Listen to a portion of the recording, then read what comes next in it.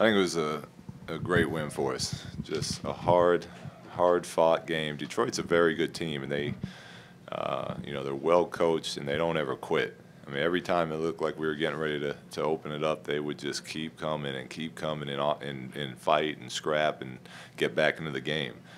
And that's how they've been playing all season. That's why they, you know, they were, what are they, five and two? They were five and one before the game. Uh, but that's a very good team over there. Luke, um, Draymond has 50 assists after eight games, which leads the team. Is there something different in his passing ability, or guys just knocking down the shots that he's getting them open for? Um, no, he's he's he was a great passer last year. Uh, you know, it probably has something to do with the fact that our guy we've been shooting the ball well pretty much all season, and he, you know, he, he's getting really good at you know when teams want to double Steph, becoming the primary playmaker for us and, we trust his opinions, whether he's going to shoot it or, or, pass it or what. Um, but he's he's playing unselfish basketball and uh, getting a lot of people involved, and we love that.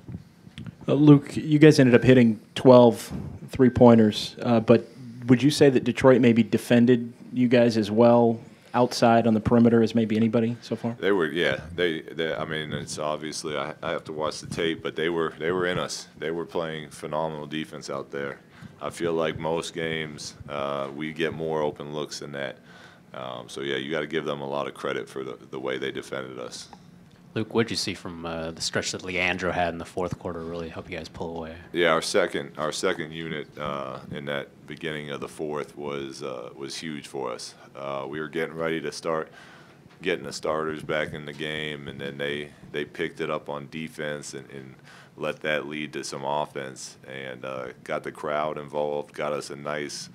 Uh, a, a, nice big lead there, and we were able to give our starters a couple extra minutes on the bench, and Barbosa was a huge part of that.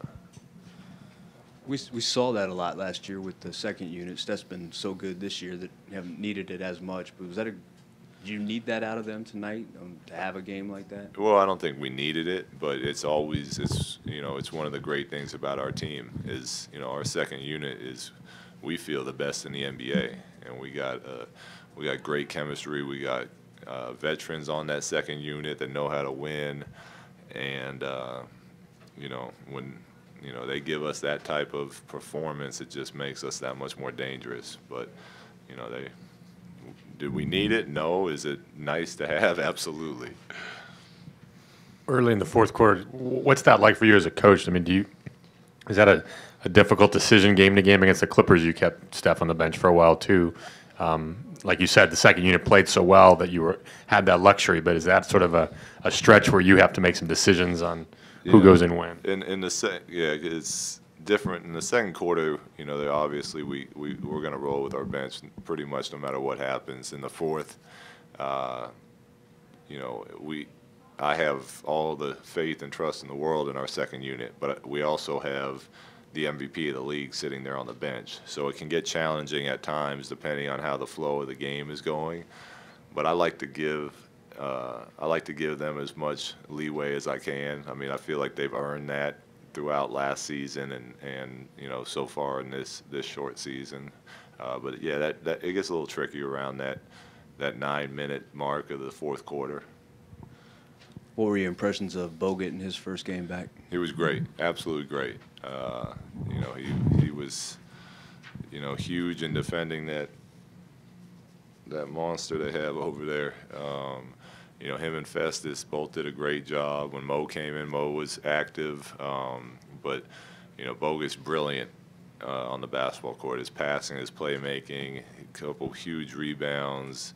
Uh, he's just such a smart player. It's uh, it's great having him back. Luke, are you guys getting the sense that, that Klay's back? He looked like he found his shot tonight. Uh, Klay was, yeah. I mean, we we're not Klay's one guy. We're not that worried about. We know what what he's gonna do. Um, you know, over the stretch of a season. Uh, and it, it was nice to see, uh, you know, to see him hit shots tonight. But I thought he also did a great job of, of not forcing shots. Uh, you know, I feel like earlier in the season he was, you know, he was try to force them every once in a while and take some really tough shots. Tonight, if he was open, he shot it. If not, he moved it on to somebody else, and and that's when we're at our best Do you think that uh, Bogut has an effect on Klay offensively?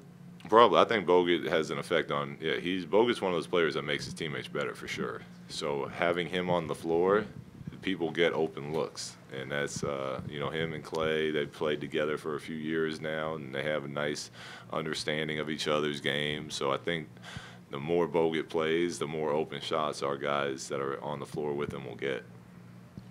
Luke, you touched on this earlier, uh, but it looked like Festus was um, primarily concerned with making sure that Drummond didn't dominate the boards. He only got one, re- two rebounds. At Festus only for the, for the night, but Drummond didn't have a lot of rebounds until the second half. Was that the goal? Yeah, um, we talked about it before. We, you know, we said, look if you keep him off the glass, you've done your job. So we need all five guys in there rebounding. We need a body on Drummond, and I thought we did a great job on him. And the, the kids still finished with 14 and 15. So, uh, you know, give him a lot of credit. But yeah, Festus was fighting every play, never took any possessions off, and that's, you know, that's the effort we needed out of him tonight. And you looked like uh, Kentavious was giving Steph a little bit of trouble. That's something you don't see very often. What did he do that made it so tough for Steph tonight? Um, I'm not sure. I mean, I'm, he's a, he's a good defender. He's long. He's athletic.